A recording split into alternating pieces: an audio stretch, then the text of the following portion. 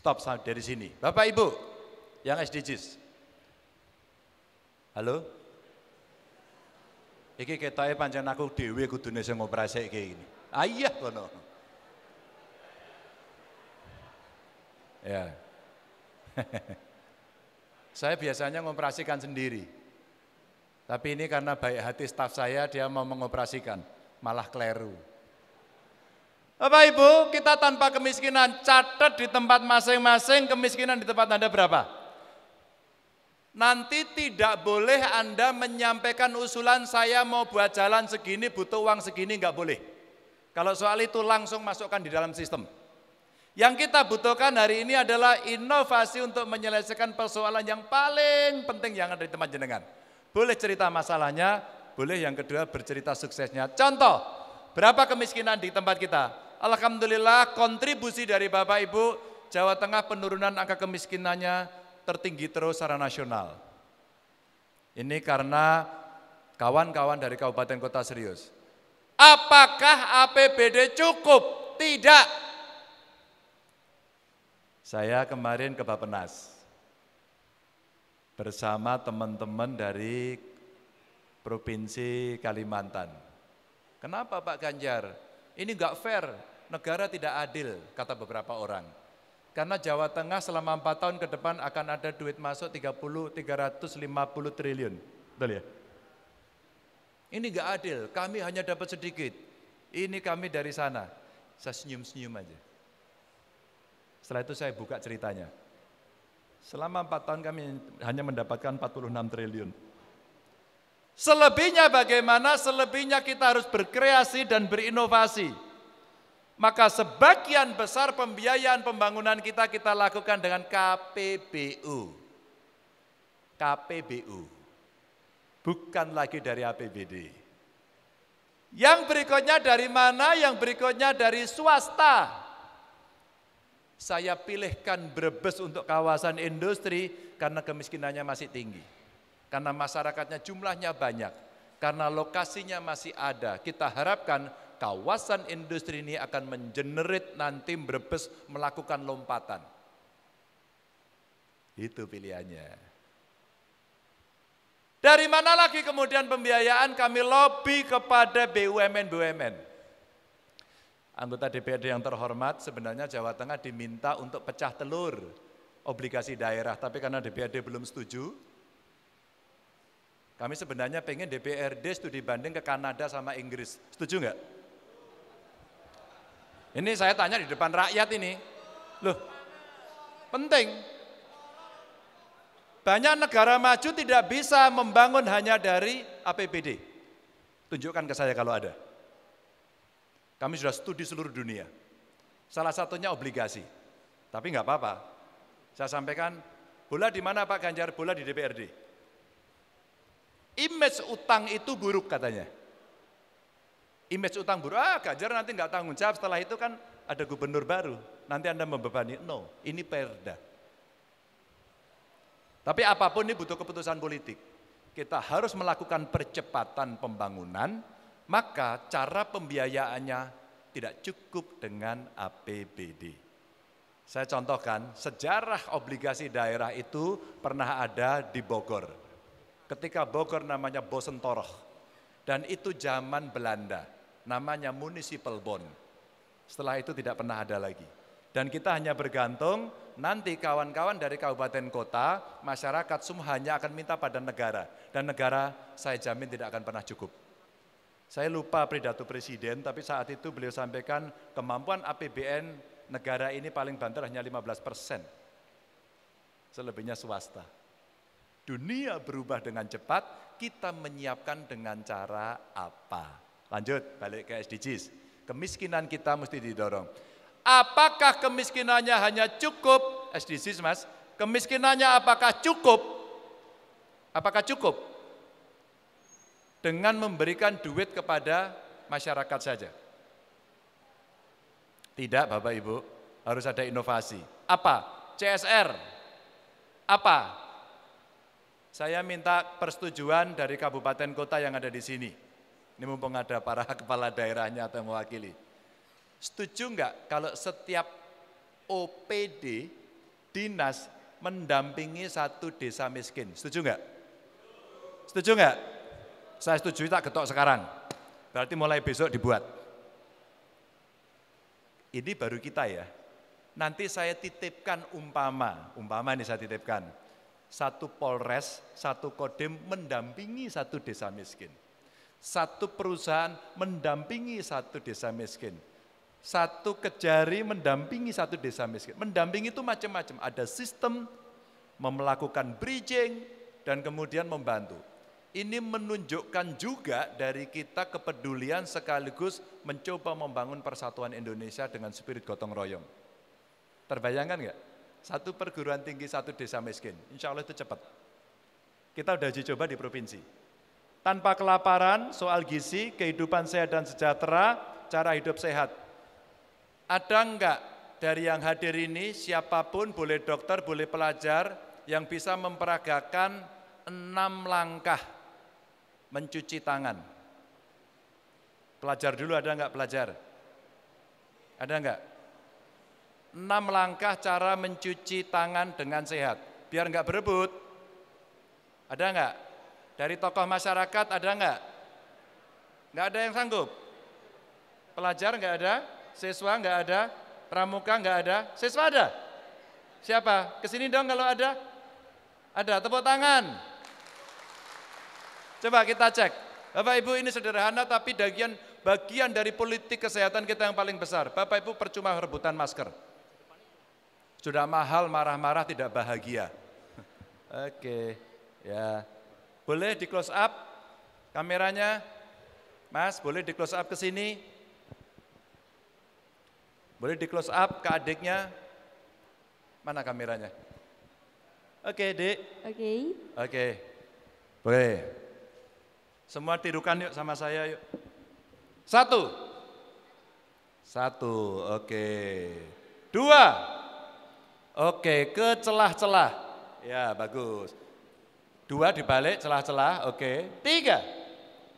Tiga, oke. Oh ini jumping dulu, oke nggak apa-apa. Ini dulu. Gantian karena ini ujungnya biar bersih. Terus, oke, digosok. Ya, dua kali. Terus, Jempolnya diputer-puter. Oke, ya. Oke. Baru diratakan lagi ke enam. Simple. Cara hidup sehat ini akan mendorong Anda terbebas. Setiap saat setelah kita salam-salaman, pulang cuci. Pakai antiseptik. Namanya siapa? Uh, perkenalkan nama saya Nadine Adelia, saya biasa dipanggil Nadine, saya dari Forum Anak Kota Pekalongan. Oke, panggilannya Nadine. Iya Pak. Kamu ketemu anggota DPD RI, ketemu DPR RI, ketemu gubernur DPRD, pejabat-pejabat. Kalau hari ini kamu ingin mengusulkan apa yang mesti dibangun dari kamu, kamu usul apa?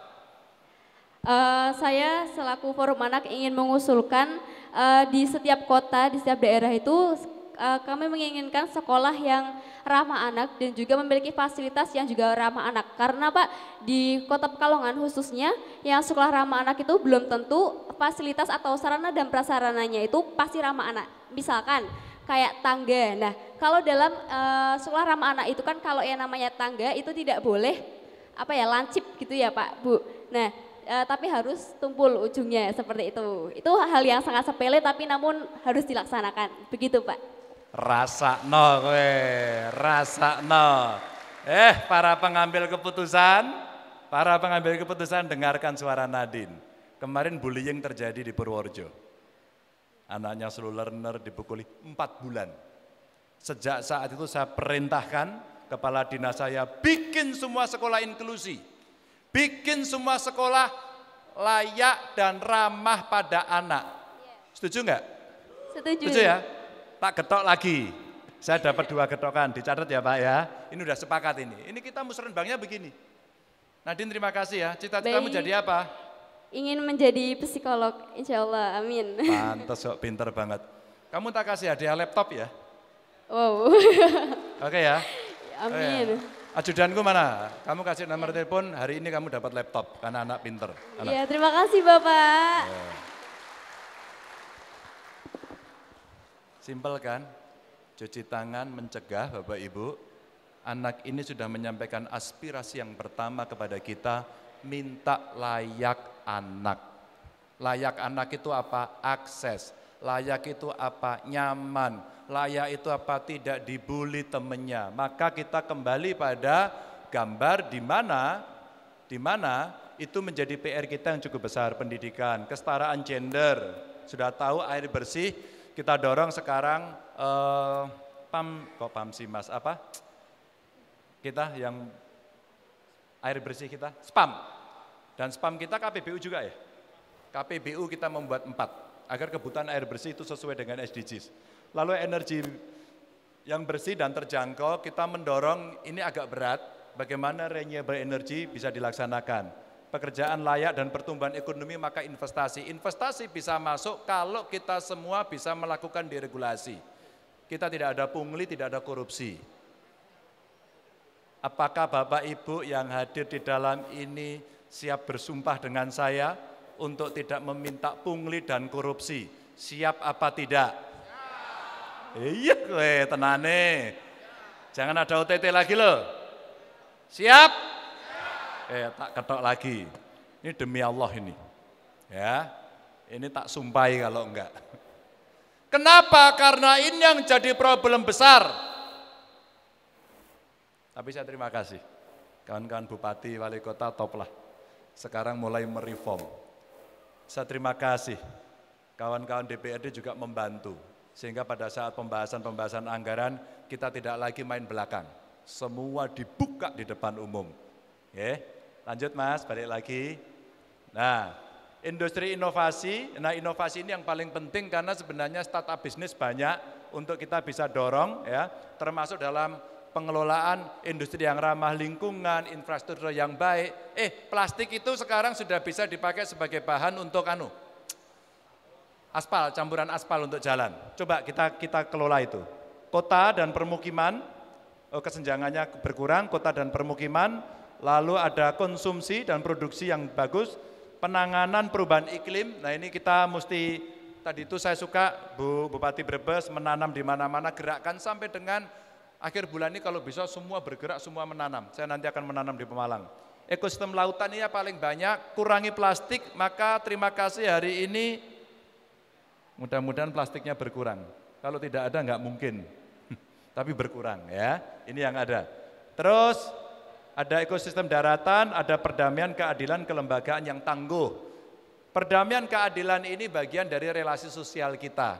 Kita ini Bapak Ibu diciptakan kulit kita beda, rambut kita beda, suku kita beda, agama kita beda. Itulah bineka tunggal ika, jangan dipersoalkan. Kita yang dibutuhkan itu persatuan Indonesia, jangan bikin persoalan di situ. Dan saya menyampaikan terima kasih di Jawa Tengah itu adem, ayam. Ada satu dua orang Bapak Ibu sanggup untuk menyelesaikan itu, membuat kita tenang. Membuat kita tenang. Itu yang mendok, mendukung semuanya nanti akan bisa berjalan dengan baik. Dan terakhir adalah kemitraan untuk mencapai tujuan. Bapak Ibu, ini PR-PR besar yang mesti kita laksanakan. Paparan saya cukup banyak, tapi saya tidak akan membuang waktu banyak. Saya persilakan nanti Bapak Ibu memaparkan inovasinya, enggak usah semuanya. Pak kami usul penurunan kemiskinannya seperti ini, layak anak itu seperti ini, penanggulangan problem lingkungan ini, banjir. Seperti apa? Pekalongan, kabupaten, sama kota ini sedang kita kerjakan, namun belum beres. Maka waktu saya ke kota Pekalongan saya sampaikan, kota Pekalongan pasti banjir. Jangan bilang tidak banjir, pasti banjir. Yang bertanggung jawab siapa? Gubernur dulu. Saya tanggung jawab. Apakah sudah gubernur tidak mampu? Ya. Curah hujan melebihi 150 sudah tidak mungkin ada yang bisa. Dan tergenang sudah 18 hari. 14 hari. Bagaimana caranya? Maka kita rapatkan pusat, kita panggil, kabupaten kota kita panggil. Kemarin ayo lakukan tindakan darurat. Sungainya sungai apa Pak Wakil? Bremi. Bremi langsung kita panggilkan, PSDA kemarin langsung bekerja, panggil itu, carikan pompa, digotong pompanya. Ini namanya tindakan darurat. Terakhir, selama kita merencanakan, mari kita bicara dari dukung lingkungan. Kontrolnya nanti ada dua, satu tata ruang, dua amdal. Perhatikan ya. Dan Presiden kemarin menyampaikan pada kita semua, perhatikan faktor kebencanaan. Untuk membuat konstruksi, perhatikan bencana. Areanya, perhatikan bencana. Sesar-sesar kita di Jawa Tengah itu cukup banyak. BMKG sudah memberikan kepada semua, untuk itu kita pedoni, kita pedomani. Bapak Ibu, kita manfaatkan waktu yang singkat ini, berikan ide-idenya, secara singkat, secara padat, nanti kita putuskan sehingga enam kali nanti kita putaran untuk yang pertama kali dari sini, harapannya Jawa Tengah punya satu desain khusus di mana perencanaannya basisnya tidak lagi terkotak-kotak oleh setiap kabupaten kota, tapi regional.